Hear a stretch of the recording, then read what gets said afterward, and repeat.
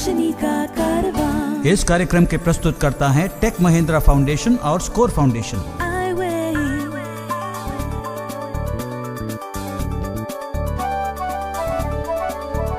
ये है रोशनी। रोशनी रोशनी का रोशनी जो करती है अंधेरे को दूर। रोशनी जो लाती है दिल में नूर। रोशनी जो दिखाती है रास्ता। नमस्कार, आदाब, सत श्री अकाल। मैं सलीमा रजा, आपके अपने प्रोग्राम आई वे, ये है रोशनी का कारवा में आप सभी दोस्तों का स्वागत करती हूँ। दोस्तों, क्या आपको मालूम है, तीन दिसंबर को अंतर्राष्ट्रीय विकलांग दिवस के रूप में मनाया जाता है। और इसको मनाने का मकसद ये है कि हम ये याद रखें कि एक विकलांग व्यक्ति को भी समान अधिकार होता है, मान सम्मान, मौका और न्याय पाने का। सलीमा जी। अरे शेरू अरे आज तुम इतनी जल्दी आ गए? हाँ अच्छा सलीमा जी मुझे आपसे एक ज़रूरी सवाल पूछना था। हाँ भाई पूछो। ये बताइए चार्टर्ड अकाउंटेंट बनने के लिए सबसे ज़्यादा किस चीज़ की ज़रूरत होती है?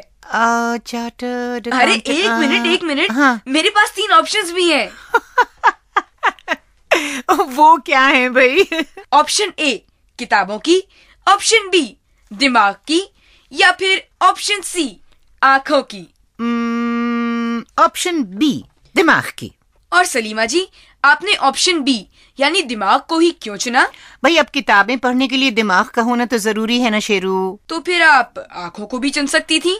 शेरू मिया लगता है तुमने अभी ऐसे लोगों के बारे में नहीं सुना है जिन्होंने दृष्टिहीन होते हुए भी सीए की डिग्री हासिल की है। हम्म हम में से कई लोग हैं जो ये सोचते हैं कि नंबर्स कैलकुलेशंस और डायग्राम्स देखकर करने वाली चीज़ें हैं।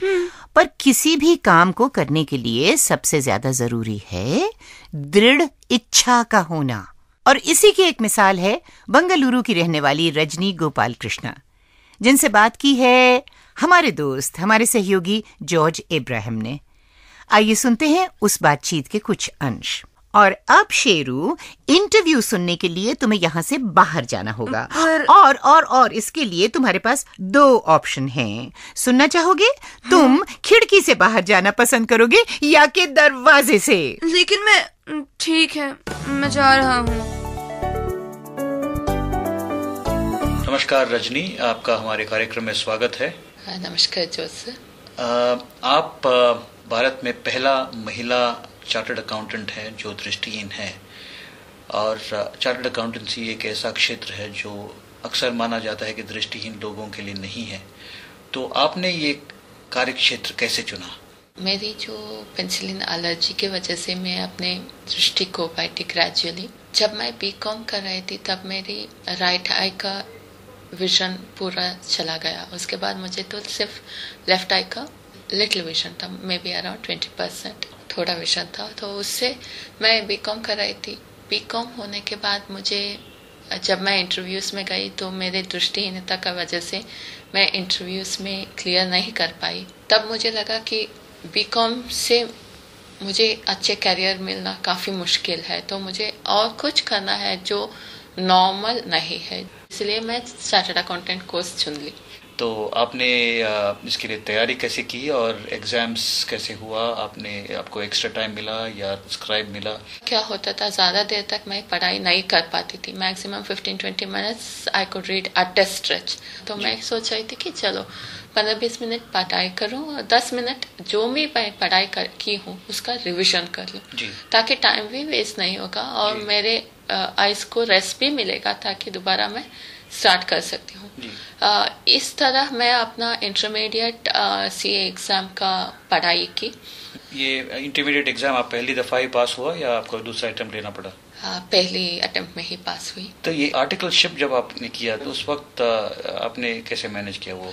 लिमिटेड विजन था तो it was not that I could do as fast as others could do but i was able to manage my work. Ji.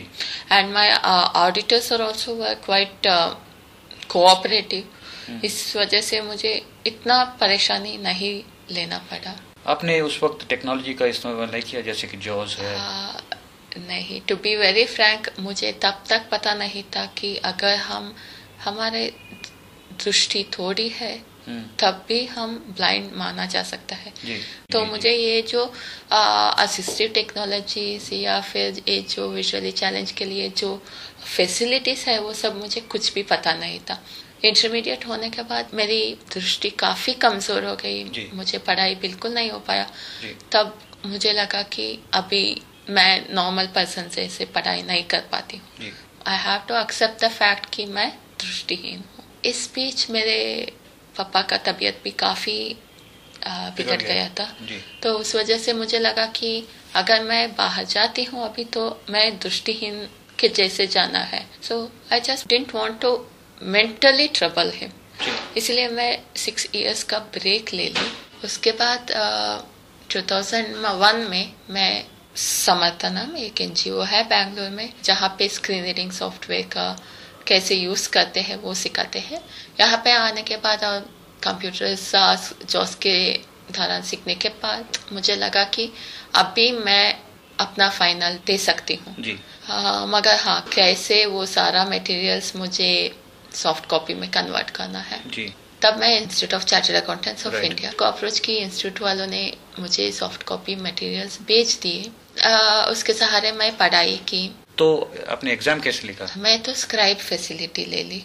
Scribe था वो अंडर ग्रेजुएट और एक्स्ट्रा टाइम आपको मिला? हाफ़ एन आवर मिला extra time right और ये आपने ये दूसरे अटेम्प्ट में आपने क्लियर किया ये फाइनल एग्ज़ाम हाँ जी। और आपका ये जॉब का जो सर्च इस वक्त शुरू हुआ। राइट मुझे काफ़ी इंटरव्यूज़ फेस करना पड़ा। और जब मैं इंटरव्यूज़ जाती थी मुझे एम्प्लॉयर्स को समझाना पड़ता था कि हम सिर्फ़ ब्रेल यूज़ नहीं करते हैं। काफ़ी सारा असिस्टिव टेक्नोलॉजीज़ है। हम कंप्यूटर्स भी यूज़ कर सकते हैं। सभी बोल रहे थे कि वाह क्या बात है she has done it but when it come when it was coming to giving a job I could always see the resistance ये जो आज जो नौकरी आप कर रहे हैं ये शायद आपका पहला नौकरी होगा। No this is my second job तो एक चीज़ बताइए कि आपको जो प्रेजेंट कंपनी जो है हाँ यहाँ पर एम्प्लॉयमेंट मिलने का मुख्य कारण अगर आपको बताना है तो क्या होगा?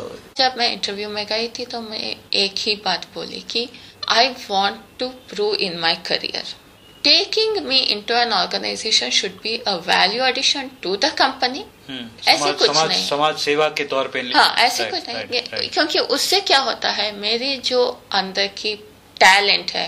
कैपेबिलिटीज है वो एक्सप्रेस करने का मुझे मौका नहीं मिलता है।